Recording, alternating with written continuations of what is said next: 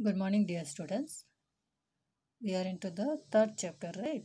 That is roles and functions of a government.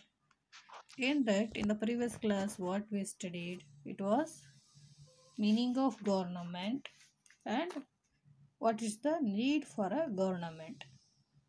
So, in order to carry out the functioning of the state, a government is been performing various kinds of function. So, a government is a group of people who acting on behalf of the representative body. They act as a representative body.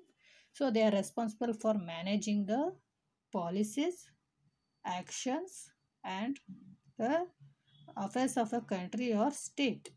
So in India, government acts on behalf of the citizens of the country to have welfare of the citizens. So generally, a government performs lot of functions varieties of functions in order to keep the country with peace and harmony. So, what are they? They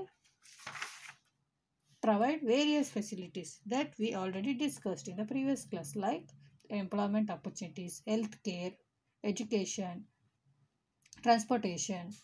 So, they fulfill the basic requirements of the public.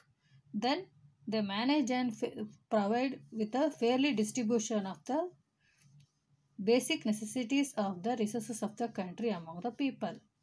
Next, they provide relief measures during the natural disasters whenever the need is required for the people. Then they make the laws, they implement it, and they check through that whether they are not following or not. Correct. Then they are safeguarding the borders of our country with the from the foreign attacks by having the military forces.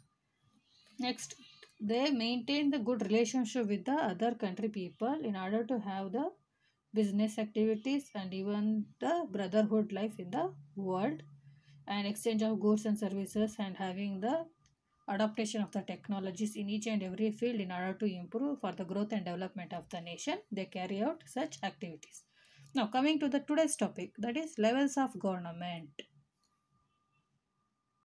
So dear students generally the government cannot handle each and every um, needs of the public correct? So it has got certain divisions at each state wise correct?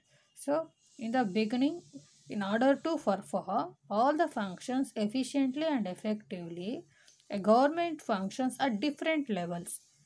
So in india when we consider it has got two one is at the national level or the central level and at the state level and also the third one is local. So totally we have three levels. One is national, second is state and the third one is local. Generally we say two because national at the central level and the state of the different state we see the functions. But even after the state it comes the local. So these are the three levels which are they central state and local. So government makes the laws and it carries out the laws and it also protects the laws. Correct? Then at the central we have parliament. And the parliament it consists of president or the prime minister and council of ministers. And it has got supreme court and when we consider the state, it has got state legislature, governor, chief minister and council of ministers and high court. Then under local, we have Grama Sabha and Gram Panchayat and other lower courts also. So why we say the other lower courts? When the issues or the matters or the problems of the people is not being carried out at the lower courts, they can appeal to the high court. And if the high court is not possible to solve again they can approach to the supreme court. So when they are not able to get the solution from the lower courts at the local level they can approach the high court high court to last at the supreme court. Likewise they have government also. Central state and local so this is the mind map or the chart which represent the levels of the government and who are all the representative body comes under the government. So when we consider uh, children, that the levels of the government, it is been classified into three levels. As I said, national or central, state and local. The central government makes the laws for the entire country, that is whole India, for the whole India.